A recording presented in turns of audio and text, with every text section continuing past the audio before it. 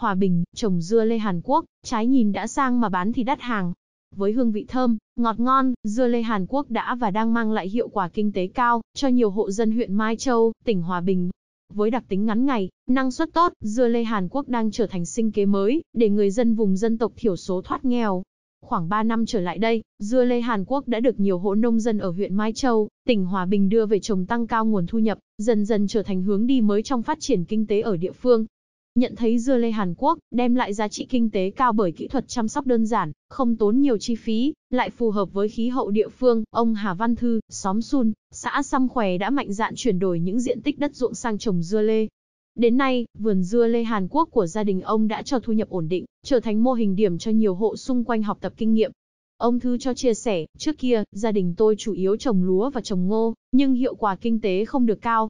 Được cán bộ xã, huyện tuyên truyền về hiệu quả trồng dưa lê ngọt Hàn Quốc và hướng dẫn kỹ thuật, phương thức gieo trồng, ngay vụ đầu tiên đã có hiệu quả kinh tế. Đến nay, gia đình tôi mở rộng trồng hơn 2.000 mét vuông trồng dưa lê ngọt Hàn Quốc. Giá dưa bán lê ngọt Hàn Quốc tại vườn dao động từ 35.000, 45.000 đồng trên kg, giúp gia đình tôi có nguồn thu ổn định hơn trước. Là một trong những hộ tiên phong trồng dưa lê Hàn Quốc ở Mai Châu, nên ông Thư phải tự tìm hiểu kỹ thuật chăm sóc, phòng trừ sâu bệnh thông qua các phương tiện thông tin đại chúng.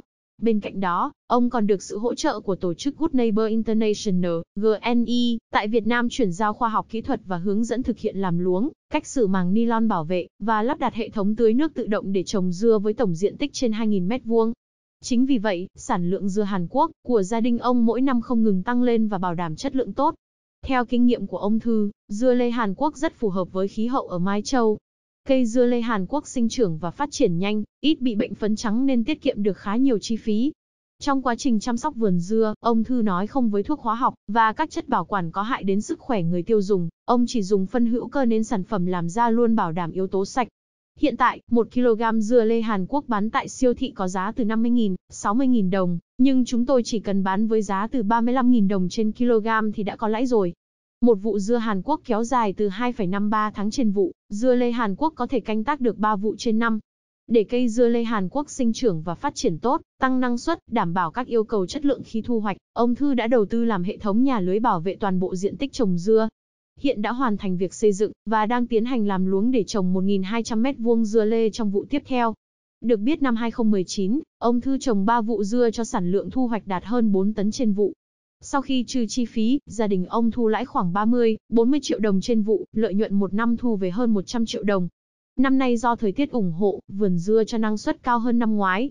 Hiện gia đình ông Thư là hộ thu hoạch sớm nhất nên giá tiêu thụ sản phẩm đạt 40.000, 45.000 đồng trên kg, hứa hẹn sẽ mang về một mùa bội thu.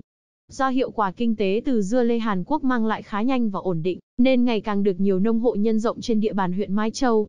Ông Hà Công Soan, trưởng phòng nông nghiệp và phát triển nông thôn huyện Mai Châu, cho biết, toàn huyện có tổng diện tích trồng dưa lê trên 7.000 m2, tập trung ở xã Săm Khỏe. Đây là loại quả có chất lượng quả ngọt, thơm, hàm lượng chất dinh dưỡng cao, đem lại nguồn thu nhanh hơn so với nhiều loại cây trồng truyền thống. Tôi thấy trồng dưa lê giống Hàn Quốc đã giúp bà con tận dụng được quỹ đất, nâng cao giá trị sản xuất trên diện tích canh tác, góp phần tích cực chuyển dịch cơ cấu kinh tế ở địa phương.